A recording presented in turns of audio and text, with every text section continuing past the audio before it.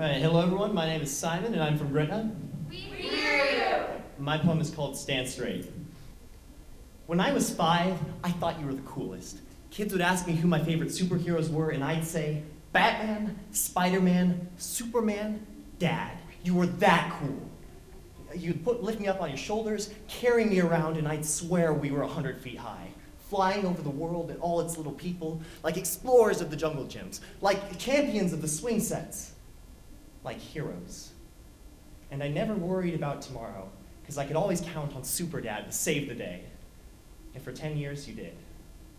So I didn't notice when you started coming home late on heavy leaden feet, only to flop out on your bed too tired to mutter goodnight. I didn't realize that you, who used to scale tall buildings in a single bound, were starting to walk with a hunch.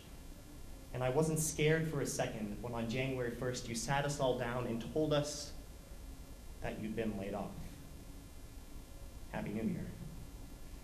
It's okay, you said, I'll fix this right away. Well, right away has come and gone because that was two years, three months, and 24 days ago, and now I'm terrified. Trembling in my bones as I wonder whether or not I get to try out for the school play. Because I know that every second that I waste memorizing lines could be spent flipping burgers for scratch instead. I hadn't realized that for you, unemployment would be kryptonite.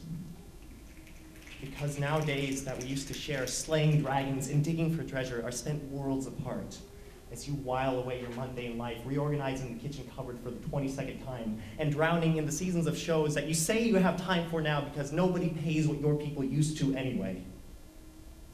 As your mind slipped like the smile from your face, so did my respect for you, the guy who was once superior to the Man of Steel and more daring than the Dark Knight.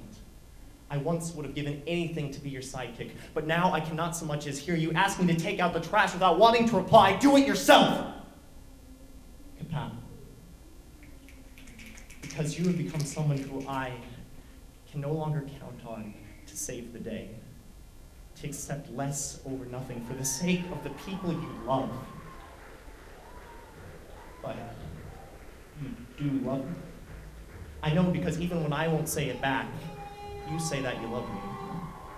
I know because even though I spent the last two years, three months, and 24 days ashamed to be your son, you say that you love me. And maybe I'm naive, or maybe I just want to trust in heroes again. But I believe you. I believe that you'll put on your red cape and stand straight again.